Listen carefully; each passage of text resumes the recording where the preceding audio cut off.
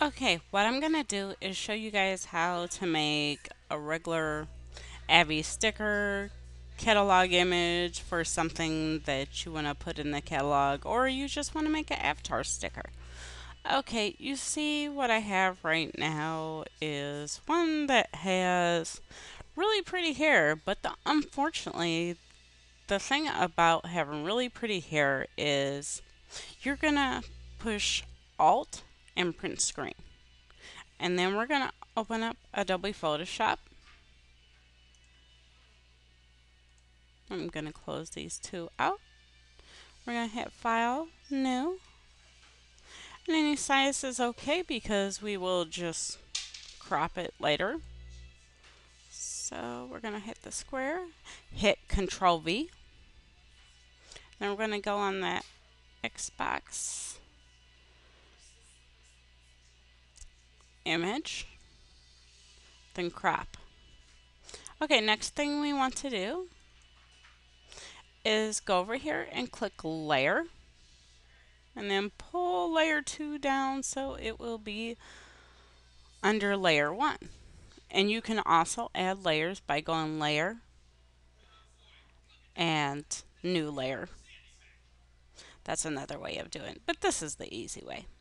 Okay, so what we're going to do is we're going to click our magic wand tool. You can click on it, then hit delete, and then you see we still have some more spots. Delete again.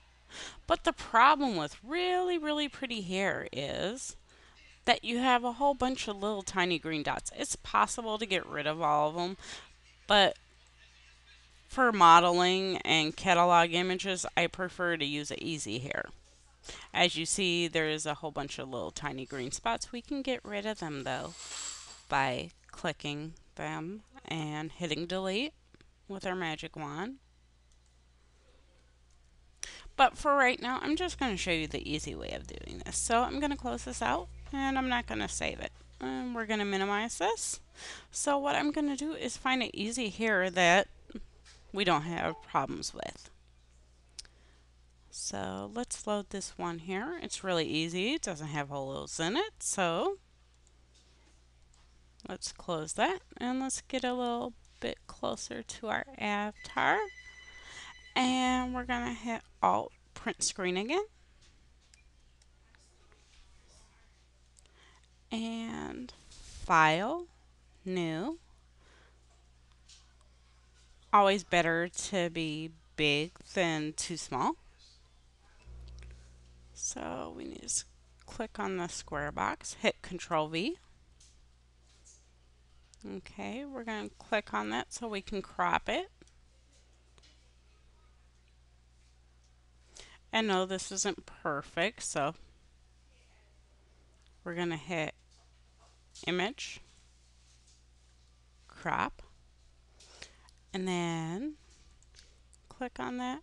And we will do it the other way. Layer, new layer, say OK. And we're going to go over here where we see our layers and pull the second layer under the first and make sure that the layer 1 is highlighted. So now we're going to click on our magic wand which is right there. Click on it, hit delete, click on the other side, delete, and then delete that too. And I see a little tiny bit of green under her hand. So sometimes we can just click it and other times we have to magnify it like two or three hundred so that we can see it. So let's click the square box again. And so you see we have a picnic image. There's no green in there. So what we're going to do, we're going to fix her up a little. We are going to hit where it says FX. And that would be the layer style. We want to give it a drop shadow. And you can see the drop shadow. So we want to make the distance a little larger. That's okay right there Maybe we'll do something more with the drop shadow. Let's see.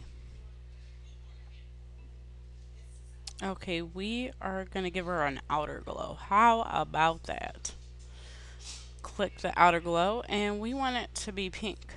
So I'm just clicking on that. Okay. And then the spread. And then size. It's not coming with me.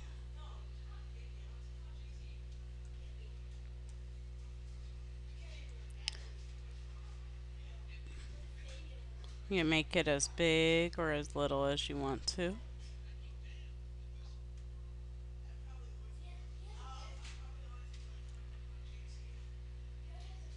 But I don't like it to be too, too big. So I'm going to hit OK. And right here where we enlarge the photo, I want to go to, you can click right click it and hit actual pixels so we can see what this picture is actually going to look like.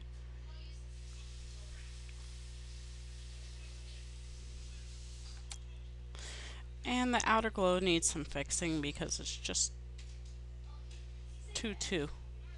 Okay, that looks a little bit better. I just brought it back to 1.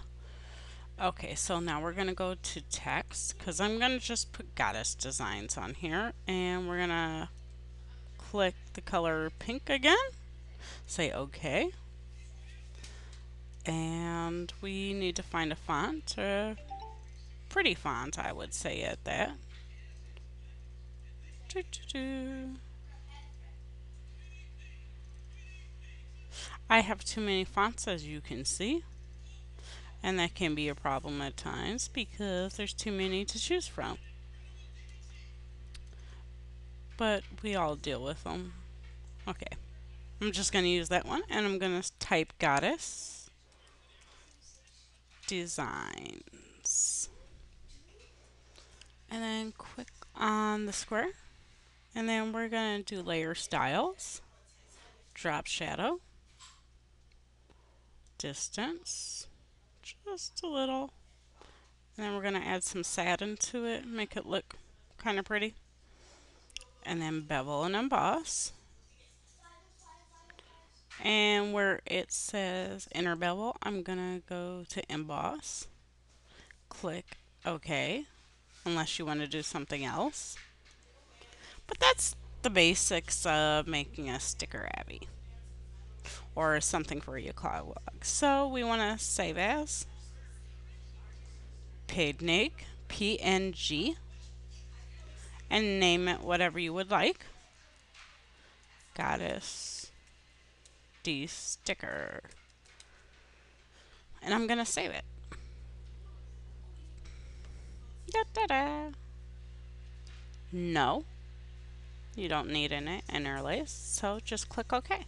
And so that is part one of the tutorial. And if you have any other questions feel free um, just to ask away. Thank you and you guys have a nice day